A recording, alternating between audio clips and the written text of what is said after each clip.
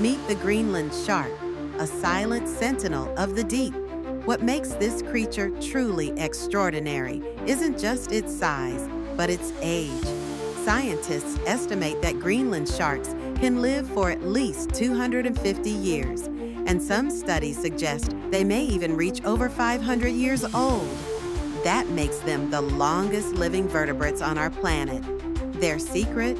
A life lived in the frigid depths of the Arctic and North Atlantic, where their metabolism slows to a glacial pace. They grow incredibly slowly, adding less than a centimeter to their length each year, and don't even reach maturity until they're over a century old. Think about it. Some Greenland sharks alive today were swimming the oceans before the invention of the light bulb, or even before the founding of the United States.